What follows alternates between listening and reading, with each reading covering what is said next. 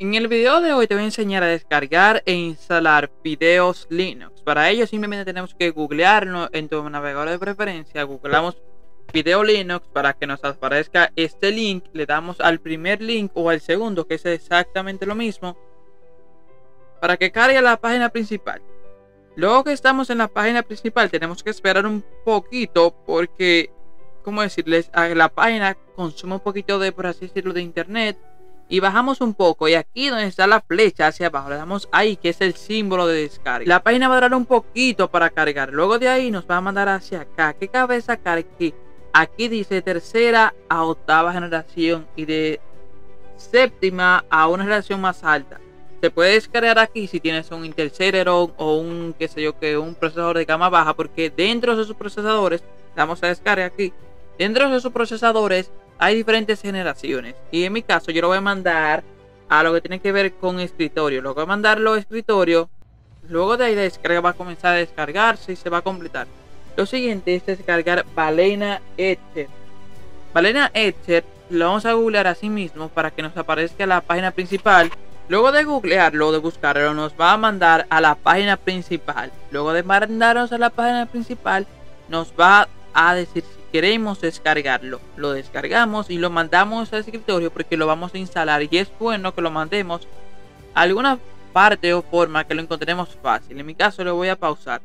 Lo siguiente es que vamos, que vamos a encontrar aquí. Aquí encontramos el sistema que está comprimido y también Balena Etcher. Yo lo voy a descomprimir y lo voy a mandar al escritorio. Lo voy a descomprimir y se ha generado una carpeta es la carpeta que está hacia acá. Lo voy a poner junto para encontrarlo mucho más fácil.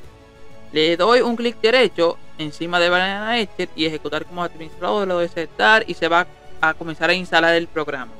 El programa se ha creado un acceso directo, pero también el programa se va a instalar, o mejor dicho, o abrir solo. Le damos al botón azul para seleccionar lo que tiene que ver con la selección del sistema. ¿Qué debemos hacer? Lo buscamos, en mi caso está en escritorio, en una carpeta que se llama videos, qué sé yo qué. Y ahí va a estar, le damos un clic y abrir. Luego de abrir debemos conectar nuestra USB. Y esta es la USB que aparece, le damos un clic y le damos a aceptar. Luego de aceptar le damos a flash. Y el flash va a durar unos 10 o 15 minutos. Y ahí se ha completado el 100%. ¿Qué debemos hacer? La computadora que vamos a hacer debemos, o sea, o instalar el sistema, mejor dicho, debemos apagarla. En mi caso es en esta. Lo siguiente es conectar la USB a la PC que vamos a hacer. Damos a encender y le damos a F2 para entrar en modo BIOS. El modo BIOS en cada computadora por lo general es, F2. Pero eso varía dependiendo del modelo. Aquí nos vamos a mover por las flechas. le vamos a dar dos costados o dos veces al flecha del, del lado para entrar al modo Security. Damos a, vamos hasta donde dice Security Boot y le damos a desactivar, Disable.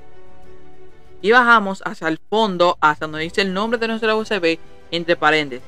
Cabe sacar que pueden haber más. Le damos a F6 para ponerlo al primer lugar. Las veces que sea necesario, le podemos dar a esa para llegar al primer lugar. Luego que sale en primer lugar, le damos a F10 para guardar los cambios.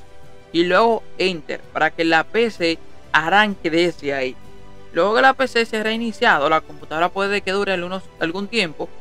Le damos a, a, Enter en la primera opción. Luego de cargar a la pantalla, va a cargar a unos 5 o 6 minutos, dependiendo de la velocidad de su eh, memoria o en su caso el, el método de instalación. Luego aquí debemos esperar un poquito que cargue el sistema. Luego de ello le damos a la primera opción para seleccionar el idioma. Aquí no se desesperen porque el idioma no está en orden alfabético. Debemos buscarlo como que un poco a lo loco, como quien dice. Aquí seleccionamos el idioma y también debemos seleccionar la, el teclado, la distribución del teclado, si nuestro teclado está en español. Luego le damos a la siguiente. Y hay dos formas. Podemos probar el sistema de instalarlo, que es la segunda opción. Y la primera es para instalarlo. Hay dos formas de instalación está la multi -win, la multiboot que es junto a Windows y la primera que es instalarlo de forma predeterminada.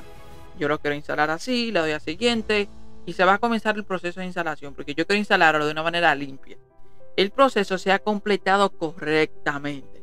¿Qué debemos hacer aquí? Debemos, nos dice, dicho, que debemos sacar nuestra USB y darle a reiniciar. Y aquí al darle a reiniciar la computadora simplemente esperamos que se reinicie y arranca así como que dice la primera parte del sistema. O el logo, mejor dicho, de lo que tiene que ver con el sistema. Luego de ello tiene que aparecer algo así. Si les aparece algo así, vamos a seleccionar, o mejor dicho, eh, son configuraciones que la hemos hecho antes, que fue la primera. Si queremos la dejamos así, le damos a siguiente, luego siguiente la configuración del wifi. Esto es si ustedes quieren poner esto. Pero lo recomendable es que lo pongan, de luego poner la contraseña del wifi, lo que tiene que ver con esto. Le damos a siguiente. Luego de darle a siguiente, simplemente va a comenzar a cargar cosas del sistema y aceptamos los términos y condiciones del mismo Luego de ello, simplemente tenemos que darle hacia abajo, hacia donde dice Local Account. Cerca de los botones que están por debajo. Miren el, puntero, damos a Local Account para crearnos una cuenta local. Ponemos un nombre cualquiera porque no necesita verificación. Por ejemplo, yo le puse TechView 1234. Lo que debemos poner es la contraseña que debemos recordarla. Le damos a aceptar y el sistema debe de arrancar así por así. Bueno, si llegaron a esta parte del video, les recomiendo que le den like, compartan y suscríbanse.